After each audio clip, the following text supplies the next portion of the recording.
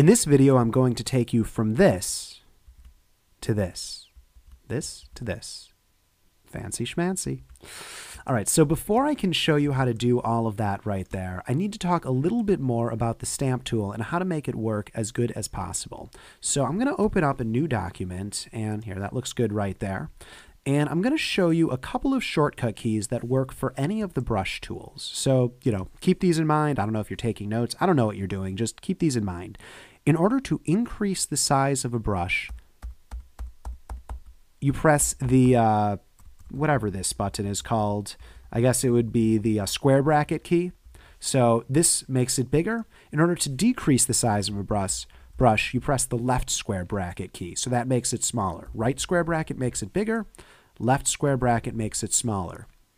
That's really the big thing you need to know. That was honestly the only two shortcut keys I wanted to show you right there. But as long as I have you, let me actually show you a couple of other shortcut keys that, well, won't be relevant right now. We're in the section where I'm showing you brush shortcut keys. If you have a couple of colors set to a brush and you want to set them to the default black and white, you can hit D and that will immediately set them to the default black and white.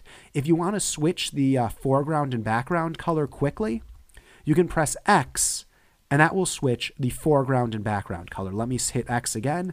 That will switch the foreground and background color. So we were actually doing that earlier when we were talking about, uh, you know, those color uh, adjustment layers and those black and white images with them, the uh, key shortcut X.